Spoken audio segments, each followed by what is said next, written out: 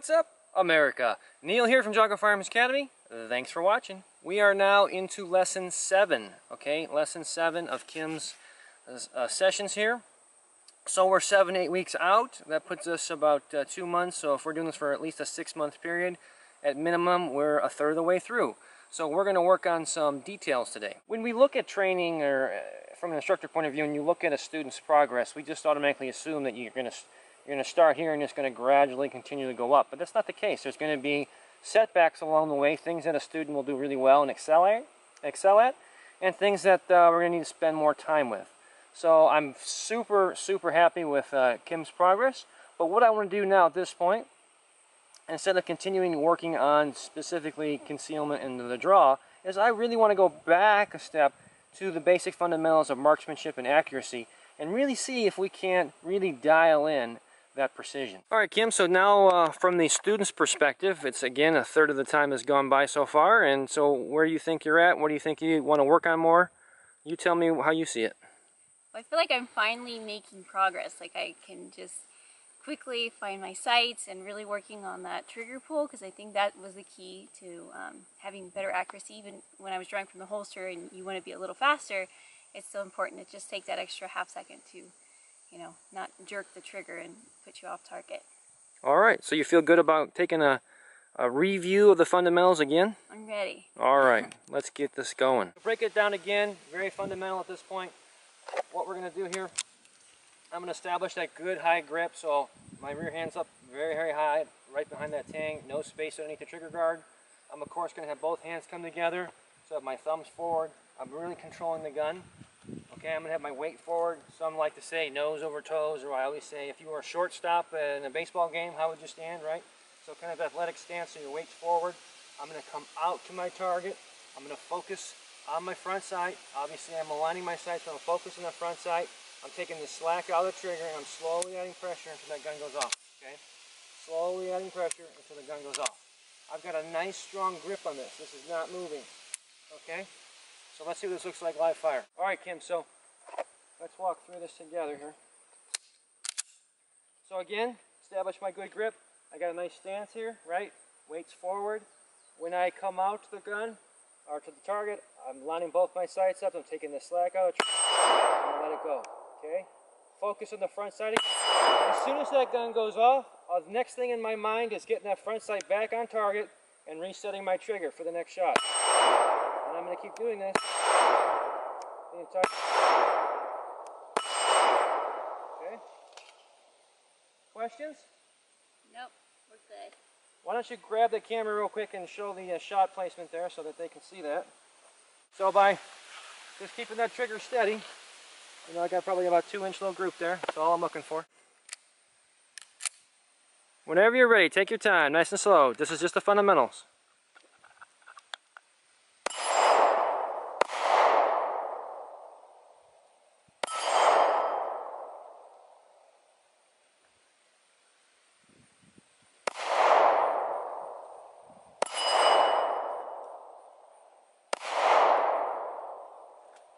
So how many did you get on that one? Bad. How many did you get? I think two. Two. All right. That's what I'm looking for, actually. So that's good news. Actually, that's what we were looking for. So out of six rounds, you hit two. That's 30% hit ratio. Okay. So that's our baseline for today. So I, at the end of this, we're going to do the same six rounds again from the same exact distance, which is about, uh, give or take, about 10 yards here. Okay. And we're going to see if we can improve that in just one session. Okay? okay? So we got to beat that.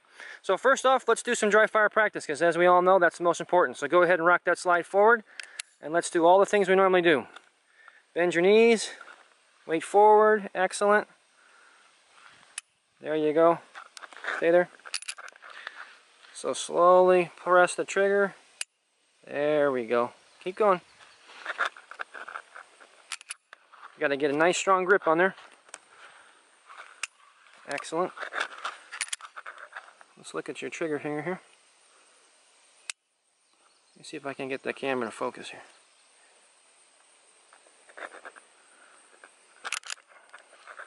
So slowly press it back. There you go. Now see, you didn't move that one at all. So if we just do that, go ahead. Now, are you focusing on your front sight here? Mm -hmm. So in your case, We got a nice green fiber optic up there. Why can't I get this camera to focus? But that's okay. All right. How's that feel? Good. Good.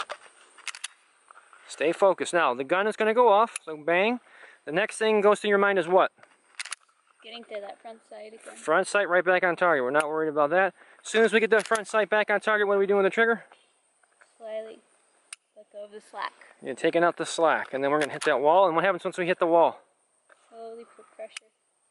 There we go.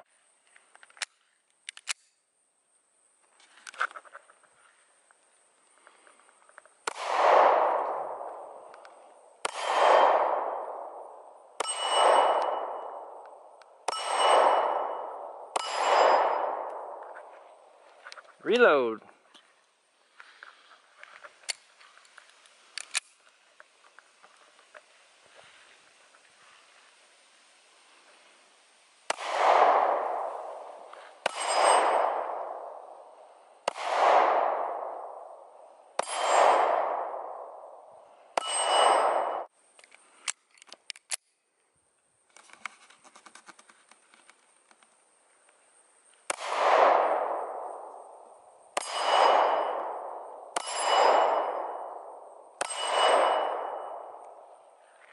Reload.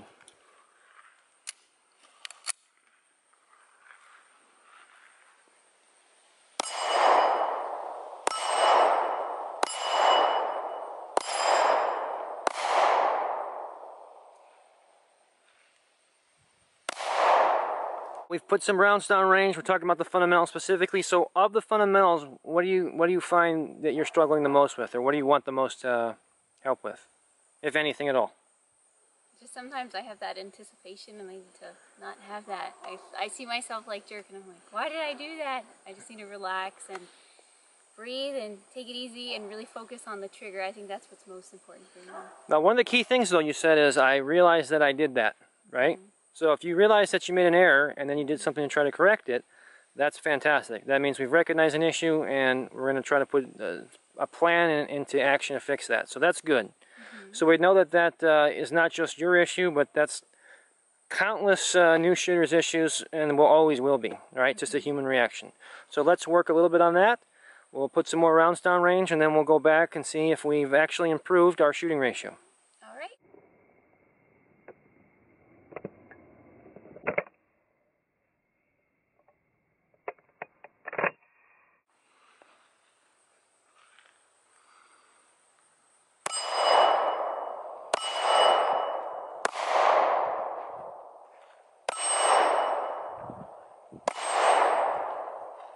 Reload, reload. Go, go, go.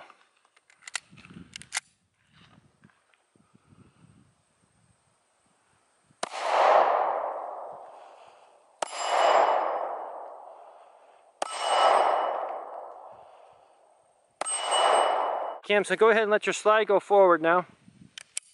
Now take your loaded magazine and put it in there. Insert. All right, let's go. Put yourself out there, your gun out there. There we go. That was a good one. So since that was a good one, go ahead and give it a full rack now.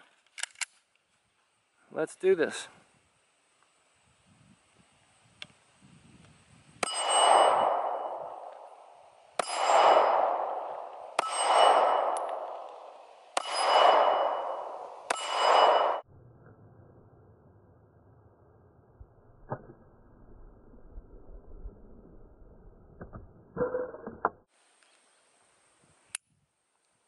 Let's try that one again. Put that one back out there.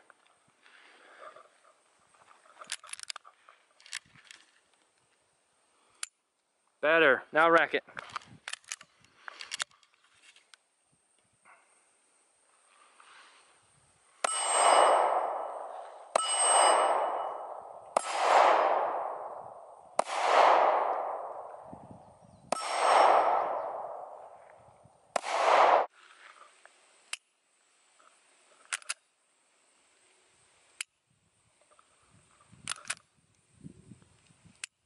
Excellent. All right, all the fundamentals, let's put them together.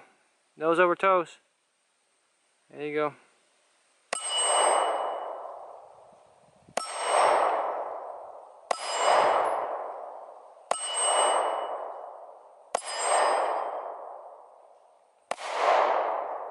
All right, four out of six there. Better. Way better than the 30% we had before. I just missed the last one.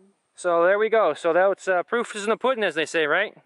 So there we go. We did some dry fire practice. We took our time, broke it down, and we increased our hit ratio significantly in just one session. We uh, did some improvements. How do you how did you say the session went? It went well. I started off missing quite a few, and then I got better as we practiced. And what do you think was the uh, big difference? What changed your uh, success there, should we say? It's just going back to the fundamentals. It all goes back to, you know, all the basic steps that you have to remember to do each time. Okay, very good. Thanks for watching, and if you haven't done so already, please subscribe. And if you like this video, please give me a thumbs up. I really appreciate that. You can also now find us on Facebook. Please look for our page, Geauga Firearms Academy. And until next time, remember, it's always better to be judged by 12 than carried by 6.